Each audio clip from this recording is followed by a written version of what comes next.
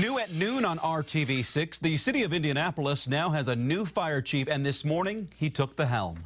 The City of Indianapolis, the city of Indianapolis, to the best of my skills and abilities, to the best of my skills and abilities. so help me God. So help me God. Congratulations.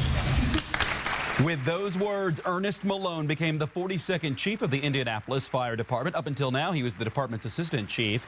Malone succeeds Brian Sanford as Sanford becomes the chief of staff for the Department of Public Safety.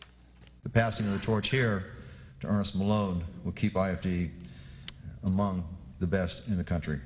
He has been respected for quite a while now in this city. I think everybody knows Ernest Malone for the person that he is. The new chief, Ernest Malone, is the a 28-year veteran of the department.